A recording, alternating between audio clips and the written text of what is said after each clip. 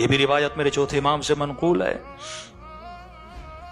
किसी ने कहा, मौला, एक शख्स आया है मदीने में, उसके पास रहने के लिए घर नहीं। मुसाफिर है, भूखा है। इमाम ने कहा, लाओ। पहले जमाने में घर बड़े होते थे। एक घर था इमाम का कब जाके इसे रखो।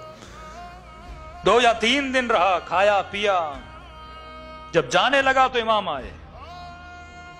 पूछा, सवारी है तेरे पास? कहा, नहीं। गुलाम को कहा, घोड़ा भी इसे दो। जब ये घोड़ा लेकर जाने लगा ना तो कहने लगा कि, अली इब्न हुसैन, लगता है तूने मुझे पहचाना नहीं। इमाम ने कहा, तेरी भूल है, मैंने तुझे पहचाना। कहा, कौन हूँ मैं? कहा, तू वही है जिसने अकबर के सीने में बर्छी मारी थी। कहा, इतना कुछ जानने के बाद भाई के साथ मैंने बुरा किया था।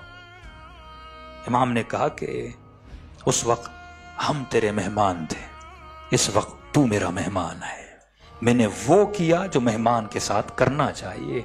वो तेरा किरदार था, ये अली के बच्चों का किरदार है। आप इख्तलाफात से दौरान निकल कर मुसलमान को दो अखलाक दिखाइए।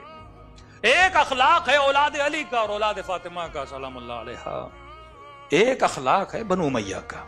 और आज तक ये दोनों अखलाक चलते हुए आ रहे हैं।